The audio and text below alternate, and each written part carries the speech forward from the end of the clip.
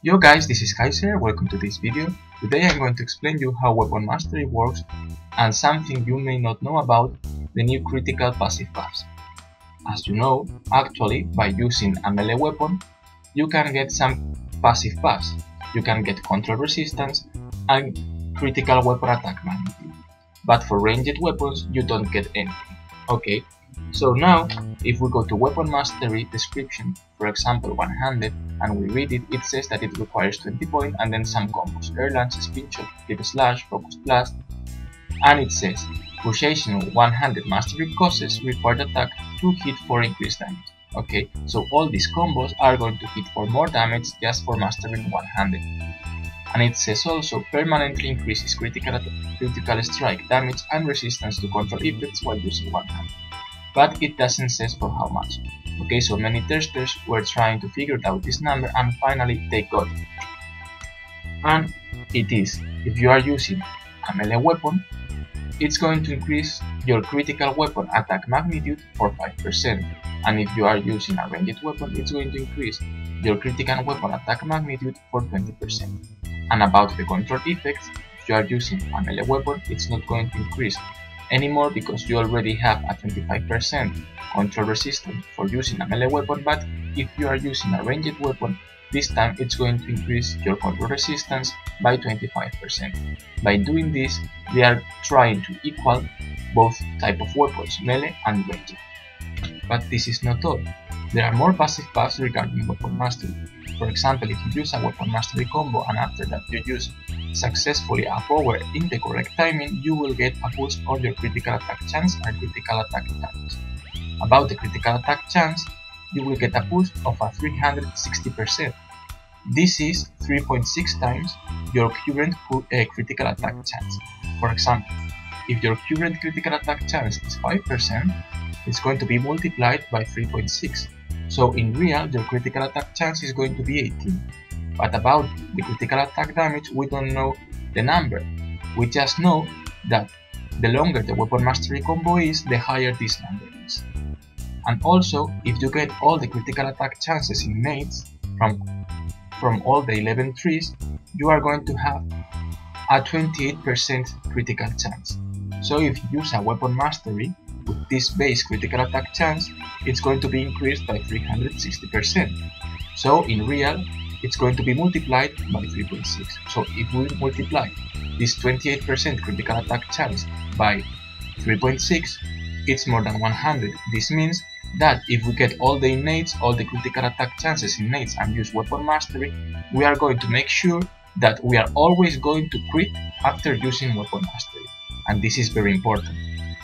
Now I'm going to explain how to use Weapon Mastery successfully and for doing this I'm going to use in this case Brawling into Martial Arts. So we first go to the Brawling tree and we read the description. It says that it requires 20 points in Brawling and some combos, in this case Back Fist, Haymaker and Stomp Smash. We don't need to get all the weapon combos, we just need to get these ones. So we get Back Fist and we get Haymaker. Then we need to spend 20 points. So we start getting the innates. We first go for the critical attack damage and critical attack chances, and then we go for the second row of innates and get, in this case, might, and then we go for the first row of innates and we get health, until we get 20 points and we are able to get this one, the Brawling Mastery. Once we are able to get the Brawling Mastery, we can get the combos, and the third row of innates, which are the most powerful, Okay, but for getting the weapon mastery combos, you need to get a mastery in the weapon. So we need to go to martial arts and master martial arts. I already have mastered martial arts and it's the same process. We read the description and we get the combos it says. After getting the combos, we are able to get the brawling weapon mastery combos into martial arts and we are ready to go. So now after getting our weapon mastery combos ready, I'm going to use it. The combo I'm going to use is Brawling into martial arts the hold hold combo. So let's try and make it. We hold and we hold. We hold and we hold. Now let's try to use a skill after using the weapon mastery combo.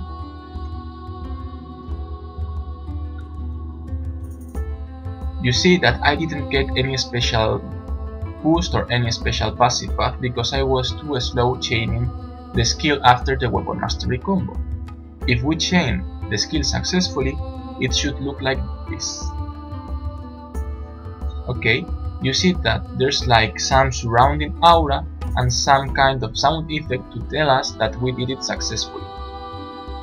If you want to do it successfully, it's better if you check the cast bar of the weapon mastery combo, you check, you check on the screen that there's a cast bar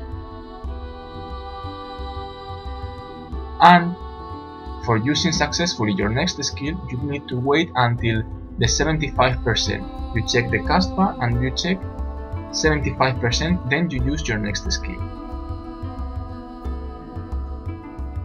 Now I failed because I waited too long but now let's try to make the 75%. Here we go. Now again.